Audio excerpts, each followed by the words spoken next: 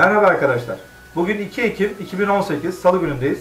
Bugünkü videoda arkadaşlar üçgen prizma, kare prizma ve dikdörtgen prizma yapıp e, ayrıntılı bir şekilde çizimini, kesimini ve nasıl e, yapıştıracağımızı göstereceğim.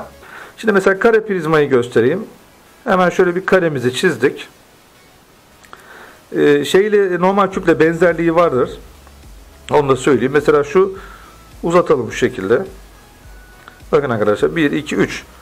Demek ki nedir? 3 tane daha bizim yerimiz olacak. Kenarımız olacak. Şu şekilde. Bir de alt kısım var dedik. Bu şekilde. Bunları bu şekilde yapıştırabiliriz. Dediğim gibi şu yandaki kulaklar burada da olabilir. Yani burada da olabilir. Çok bir farkı yok. Bu kare olduğunu söyledik. Yani dikdörtgende de mesela dikdörtgen prizma yapacağız diyelim. Onu ben daha doğrusu yapılmış halini şöyle 3 boyutlu olarak çizmeye çalışayım. Mesela bakın. Şurada görmüş olduğunuz dikdörtgen bölüm. Arkadaşlar dikdörtgen. Bakın bu böyle uzadığı zaman prizma. Kare. Uzadığı zaman kare prizma. Yine köşeden başlayacağım. Çünkü gönyesine güvendiğim için onu kullanmak istiyorum. Yine aynı şekilde işaretimizi koyuyoruz. Bu sefer 1 santim ya da 2 santim şöyle bir hiza alalım yine.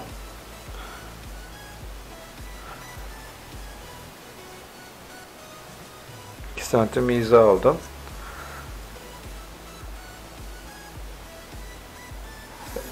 Evet bu kenar kılavuz çizgilerimi çiziyorum. Yine aynı şekilde şuradan 2 santim de şuradan alalım. Bu kılavuz çizgilerini kullanmayı alışkanlık haline getirin arkadaşlar. Ya tam kağıda böyle sıfır sıfır çalışmayın.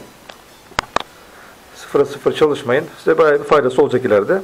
Şimdi dikdörtgen prizması da arkadaşlar şöyle yani üçgen prizma kare prizma ile mantığı hemen hemen aynıdır. Yine altı yüzeyi var. Dediğim gibi prizmadan ismini aldığı şey zaten üçgen halinde iniyorsa, bir derinlik kazanıyorsa üçgen prizması, işte altıgen, beşgen, sekizgen. Bu öndeki bir e, ön tarafı yüzünü diyelim. Ön yüzü neyse zaten o şekilde. Küp de aynı zamanda prizmadır aslında. Kare prizma diyebiliriz. Dikdörtgen prizma yapacağız şimdi. Bunu arkadaşlar 3'e 4 ölçülerinde yapmak için. Yani 3'e 4 ölçülerinde dikdörtgen olacak.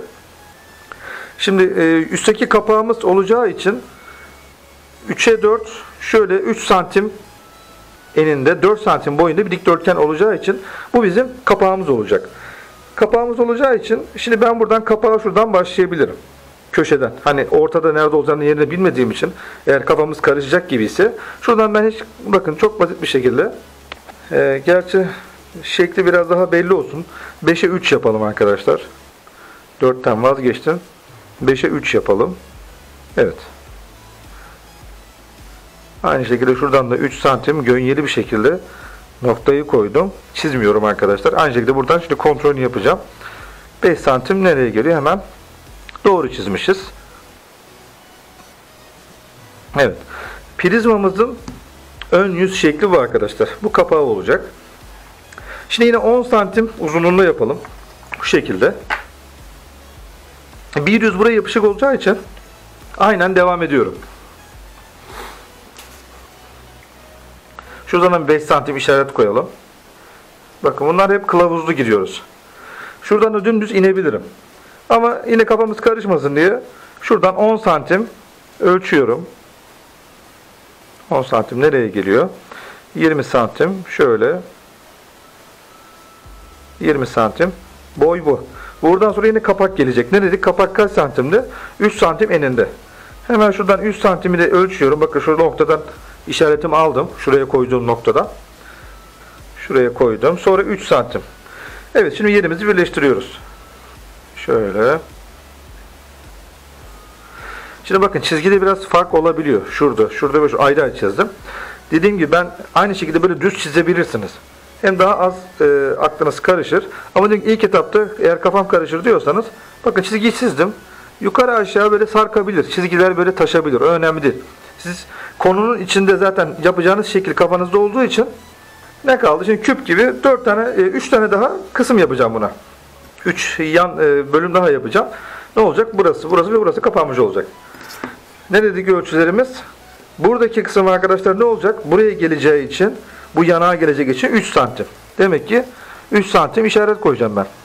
Öncelikle kılavuz çizgimi buradan ayarlıyorum. 3'ten şöyle bakın. 3 santimden koydum. Bakın şöyle. Evet. Şu kılavuz çizgimi bir kere düz bir şekilde çizebilirim zaten. Buna mani bir şey yok. Şöyle çizdim. Ondan sonra ne dedim? 3 santim eninde. Bakın şöyle. 3 santim bu kapak. Sonra ne geliyor? 5 santim. 3, 5, 8. Sonra ne geliyor? Şu diğer kapak geliyor. Bir 3 daha koydum. 11. Son parçam bu. Yani burada bitecek. Dediğim gibi nokta koyuyorum. Çizmiyorum. Şöyle noktamı koydum 10 santimden. Yine şurayı 10 santimden şu noktamı koydum. Son bölüme geldik. Şöyle 10 santim noktamı koydum. Şimdi burayı da çizebilirim. Bu şekilde. Ne olacak? Bu çizgi buraya paralel. Gönye arkadaşlar. Her zaman gönyemiz öyle devam edecek. Şurası ve şurası. 3, 5 ve 3 bir daha. Evet. Şimdi bunları birleştiriyorum. 3 santimlik kenar. Şurası 5 santimlik kenar. Sonra tekrar 3 santimlik kenar. Evet. Bakın arkadaşlar hemen hemen küpte yaptığımız gibi 6 bölümden oluşuyor. 4 tane yan, 2 üst ve alt kapaklar. Hemen bu kesip yapıştıracağımız bölümleri yapıyoruz. Nereden yapalım? Yine buradan yapalım. Buradan da yapabiliriz. Fark etmez. Şu şekilde şöyle kestim. Buradaki yapışanları da 3 bölüm de şuraya yapabiliriz. Hemen kolaylıkla şu şekilde uzun cetvelle yapalım.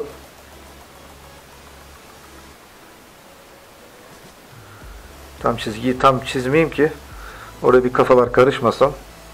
Çünkü bazen makasla keserken çizgiye devam edip gidebilirsiniz. Evet.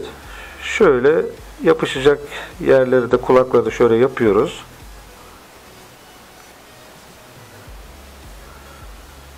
Evet, biraz şöyle biraz şöyle kısa gelmiş. Evet. Evet, bu bu bölümlere yapışacak kısımlar belli oldu. Şuraya da bu kısım yapışacak dedik. Buradaki kulağımızı da yaptık. Kağıdımı öncelikle fon kartonundan kesiyorum ve kurtarıyorum. Rahat kesmek için.